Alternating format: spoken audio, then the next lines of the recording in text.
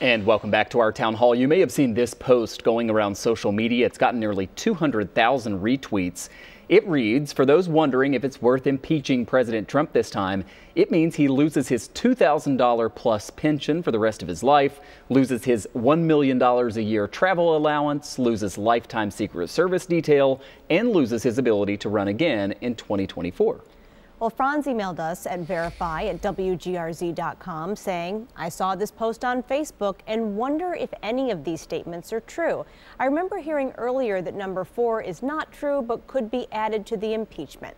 Well, Lorenzo Hall with our Verify team has the answer for you. Our sources are the Former President's Act, a Congressional Research Service report, American University history professor Alan Lichtman, and Michigan State University law professor Brian Kalt. Both our experts agree this tweet's wording is a bit off. Impeaching the president alone would not strip him of his benefits. He would have to be impeached and convicted by the Senate. And that comes from this law, the Former President's Act, which entitles those who served as president to things like a pension, an office space, office staff, and money for travel and security. Here's the thing a former president removed by impeachment would not qualify. In other words, if his term ends on the 20th at noon, he gets these benefits under current law. If he resigns, he gets them too. So, if the Senate tried and convicted President Trump, he would not get a pension, travel fund, or other benefits.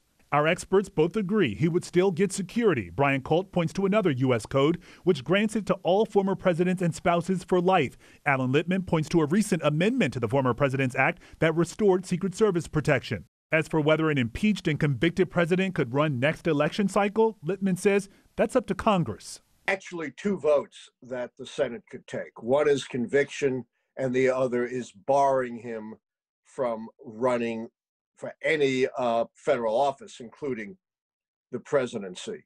So we can verify impeachment alone would not strip President Trump of any of these benefits. He would also have to be convicted. Plus, he gets his security detail. With your Verify, I'm Lorenzo Hall.